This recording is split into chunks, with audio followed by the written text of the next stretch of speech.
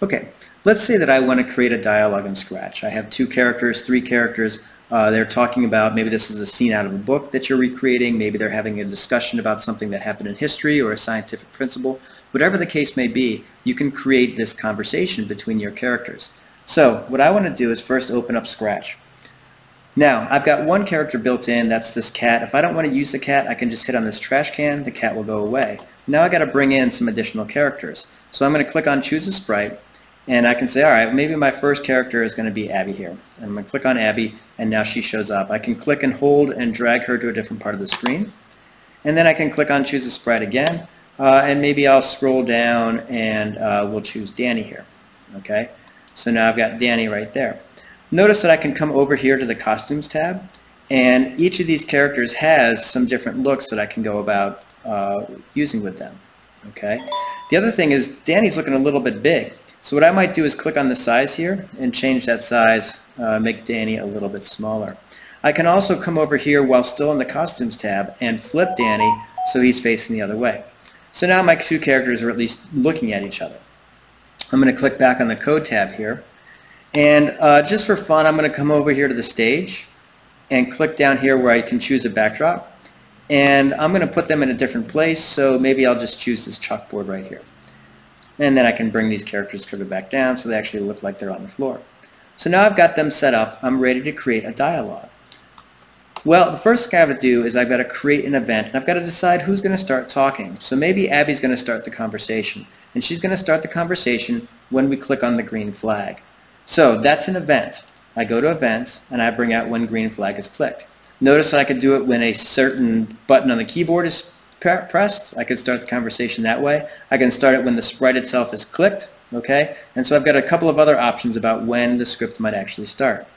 So now I want Danny to say something, or Abby to say something. So I'm going to go to looks, and I'm going to have her say, say hello. Now I can have her say hello, or I can have her think something. And you know the difference is, you know, when you do the say, you're going to get the typical dialog box that looks like that. If you do a think, it's going to have sort of that cloud-like uh, situation where she looks like she's kind of thinking.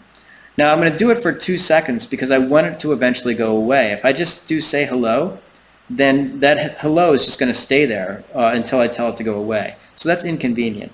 So I'm going to bring that back out. I'm going to bring out say hello for two seconds. And I'm going to change what Abby says. So she might actually greet Danny. So I'll say, hi Danny, how are you doing?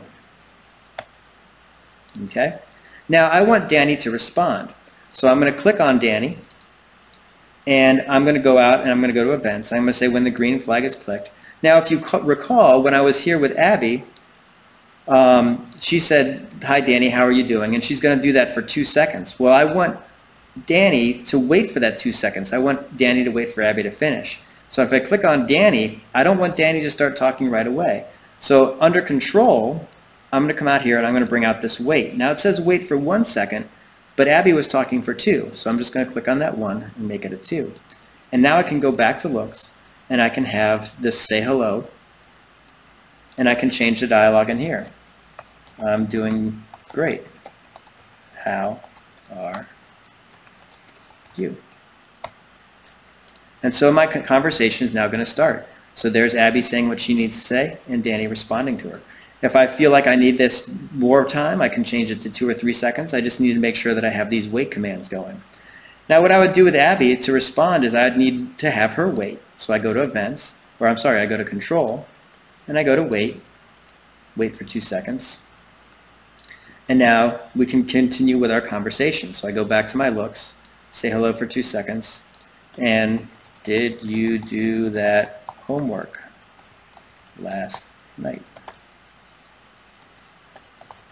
And maybe I want this on for three seconds because it's a little bit longer. And then I would go to Danny, and the same kind of pattern is going to repeat itself. I'm going to go to Control. I'm going to bring out my wait, change that for two seconds, and they're going to continue this conversation. It was hard. I have a lot of questions.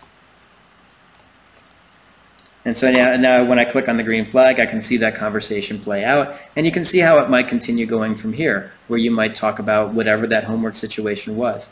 Uh, notice that I did have two uh, conversations sort of overlap each other, so if I take a look at my scripting, I need to remember that this was done for three seconds. So back over here with Danny, I need to change this wait to three seconds to account for that. So you're going to have script uh, bugs along the way, you're going to have issues, and part of the challenge is trying to figure out where you went wrong. What did you program incorrectly that the computer made that mistake? And so now when I take a look at my script, it should everything should fall in line. And we can continue our conversation. It could be about science, it could be about math, it could be about social studies or English, just about any topic that you want.